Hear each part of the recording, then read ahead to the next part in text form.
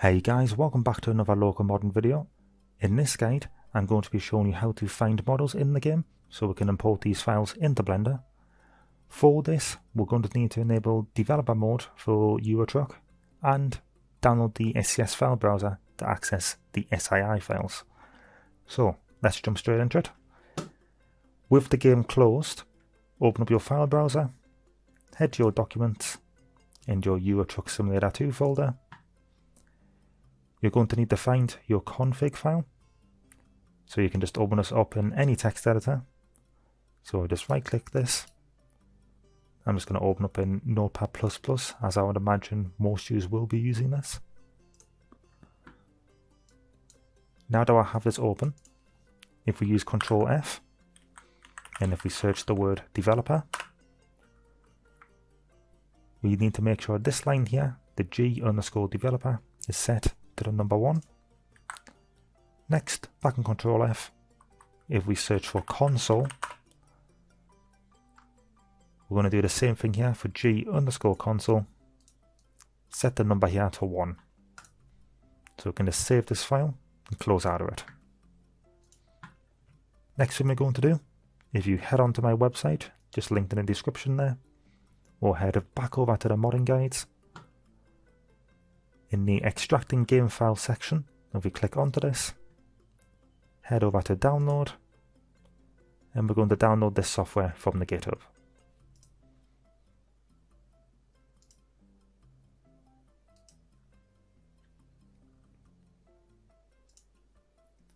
With this downloaded, we're just going to follow the next steps as well listed here.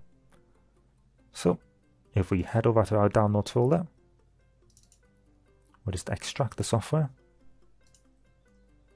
and we'll open it up here. If you do get this protection window, just hit more info and run anyway. Now that we've got this open, hit the settings button.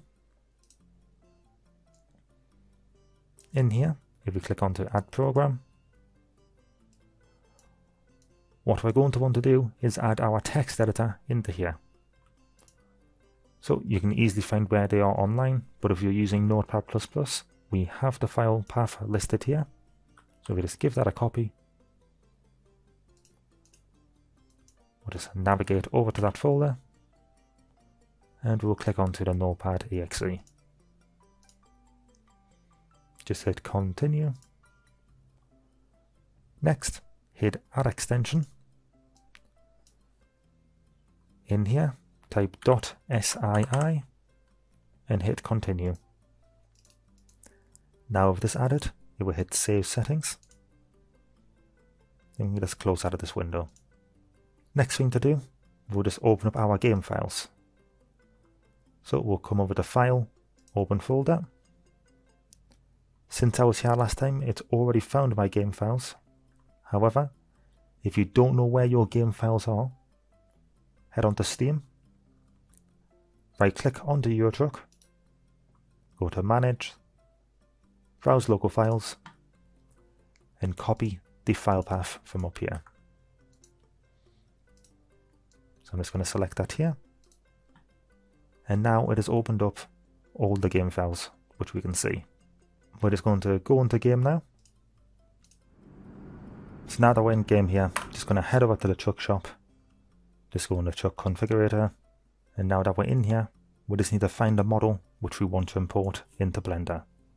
For example, if I want to import interior into Blender, if we come up here to interior,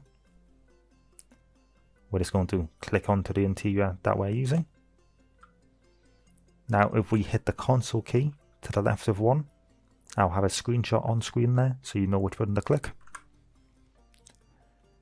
You'll just need to expand this window. If you can't change it, just make sure to click the pin here and for unpin it, allowing you to expand it. Now, if we keep note of the last thing mentioned in the console, it will always be the last thing that we clicked on the left hand side here. So if we take note of this SII path here, so if I just tab out of the game here, And if I just follow the SII path, So that's the def folder, vehicle, truck, Scania 2016, interior, and we've got the cab here with the same SII name. If I double click onto this, it will open up the code for the item we're selecting. And as we can see here, we have the model path. So this is the path which we will import into Blender. Just to show you, if we now open up Blender, if we come over to File, Import, SCS, obviously just like last time, we do need to set our SCS project base. So if we go back onto File Explorer, if we head over to where we're storing our folders, so that's where we have conversion tools. Let's see, last time we created a junk and mod folder. Just going to take this path again. See, I'm already here in Blender. I'm just going to make a bookmark just so I can easily get back to this location in future and say go into the junk folder and set the project base. So it's always best to start with a blank folder just so we reduce the chance of any issues when we come to exporting. Now, if we head over to our game files, last time we made the bookmark to get here easier. Obviously, if you didn't make this, same process as last time, or as we just done a few minutes ago, to get into the game files. For quickness, we also added a preset, just so we can click onto here, click onto base, and we have the main archives which we need. For this time, I already know the Scania 2016 is in the files we have added to the archive. However, let's say you've added the base SCS, the base share, and the base vehicle, and you don't see your truck. It may be part of its own DLC file. So, for example, if we scroll down to the bottom here, we can see the new Volvo trucks. Both of these have their own SCS file. So if we wanted to find these in Blender, We'll just have to click onto one of them and add them into the archive list. So for now, I already have the base, base vehicle, base share added. So I'm just going to double click onto the base SCS. Now all we need to do, just need to follow that model path which we found previously. So we can see that was vehicle, truck, Scania 2016, and interior. We can see the model.pmg. I know this is a slightly different extension to the PMD you see, but it is still the same file which we're looking for. So if we click onto this, hit OK, and we can see after a few seconds here, it has loaded up the interior. So this is going to be the same process for anything in game which you want to import into Blender. So to show you another common one, while we're making local mods, often we will use the set glass piece, which is this from the windshield sets, and generally we'll use the dual one. So if I click onto this, have a look back in the console,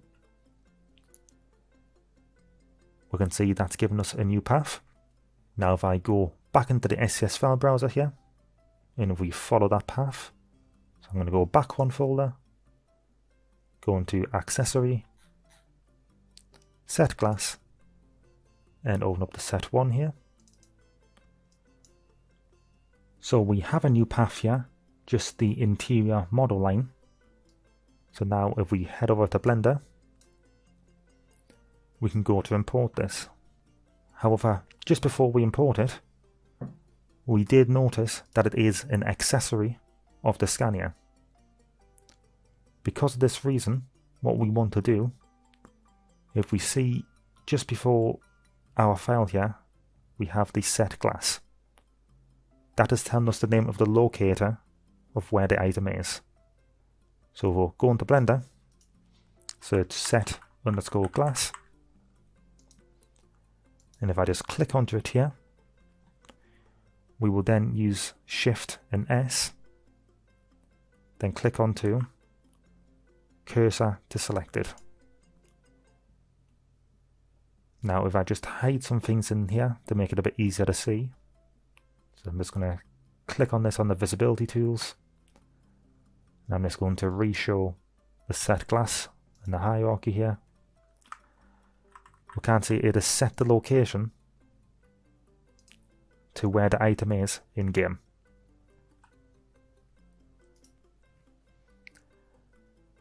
Once you have this done, we can then go over to File, Import, SCS. I'm just going to import the base again, obviously since everything is already in the archive. And we're just going to follow that path. That was vehicle, truck, upgrade, interior set, Scania 2016, then we have the glass set here. So if we just have a look in the hierarchy up here, we can see it has all the slots like we would in-game. One final thing to mention is that these locator slots, such as these set glass, often have rotation set to them. So if you click on the set glass, come over to item, we can see on these columns here in the rotation. See, W is already set to 1, X is 0. However, if we click onto Y here, we can see it has a custom rotation set to it. In the same case on Z. To make sure things aren't offset in Blender, or once you get into game, you do need to copy the rotation from the set glass and apply them to the model that we have imported. So I'm still clicked on set glass here. If I just take note of all the rotation, so as you can see here, as took note of each rotation here, just going down from top to bottom. Then if I head over to the item we imported, see I do need to change the drop down here to match how it was on set glass. So see, 1 is set, 0 is fine. Then for Y, just going to set the value I copied. Then for Z, I'm going to do the same thing. As you can see, in this case, it hasn't changed too much, but it will make an effect once we actually export and get into game. That's all I'm going to be going over in this tutorial. It was just to get you familiar with where to find paths.